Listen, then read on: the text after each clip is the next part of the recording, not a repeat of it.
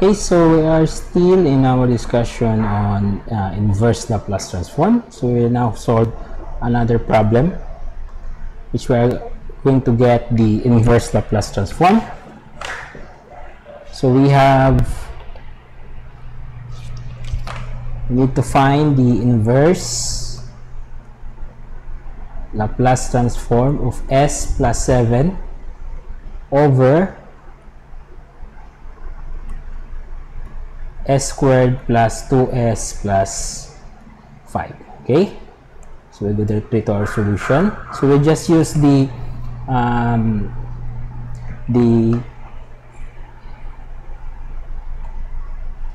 we'll use the first shift theorem. So that is what we have um, been discussing when we are going to transform our um, equation into e to the at f of t. So that is the first shift theorem okay so now we will just factor out this one.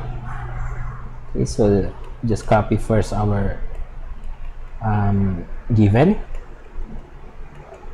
Then we will have the inverse Laplace transform of um, s plus 7 all over. So get, getting the perfect square of this one. So we have s squared plus 2s plus 4 okay, no but will not be 4 but 1 s squared plus 1 so this is 5 so we'll end up here with 4 okay. Then we'll just separate this one. So we have the inverse Laplace of um, s plus 7 okay oh, no, we just simplify it first.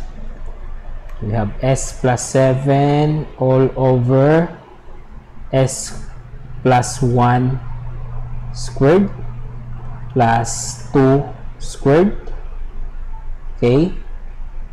So now we need to find a solution for us to have our s plus 1 here. So we could have that one as s plus 1 plus 6 all over s plus 1 squared. So this is another quantity plus 2 squared. Okay. So if we are going to separate that one okay. So we have inverse Laplace of s plus 1 over s plus 1 squared plus 2 squared plus inverse Laplace of 6 all over s, s plus 1 squared plus 2 squared. So, so as you can see, this will be a uh, sine kt or sine function and this will be the cosine function. Okay, because our s here See, this is the entirety of our S. This will be our K. So this will be also our S. This is our K. This is our S. And this is not our K. So we could factor out this one so that we'll end up with 3 times 2 in which our 2 is our K. So our final answer now will become um, our A here, or our A is uh, negative 1 because this is s minus a but our actual function is s plus 1 so our a is negative. So we have e raised to the negative a t or a t so negative 1 we will just um, just not write the negative uh, the 1 so just write it as t. This is cosine here. So we have cosine our k is 2 t plus so this is 3 we could factor out our t as a constant.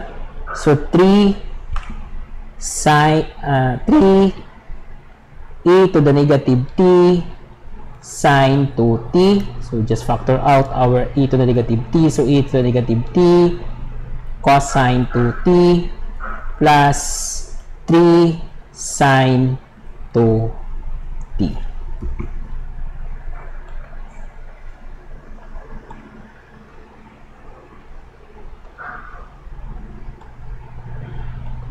Okay, and that now will be our, so this now is our answer. Okay, so I hope you understand something in this video. So I guess you need to um, have a better understanding in your um, algebra especially on man, uh, manipulating the uh, the terms in each of the functions. So we will also have another example for this one. So for now this is the end of the video. I hope you learned something. And as always enjoy learning